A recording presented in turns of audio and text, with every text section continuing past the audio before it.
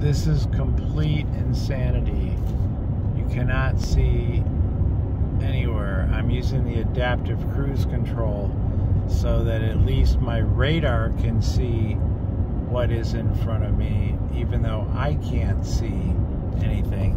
So it's this is where adaptive cruise is very valuable because it can keep you from hitting things. Visually, it's impossible for me to see. Radar is able to see through all this. So it's just like on a yacht or a boat with radar. Uh, you can navigate in fog because of the fact that your radar shows you everything in the area. Uh, this is the same with the adaptive cruise, even though I really don't feel comfortable going very fast in such conditions.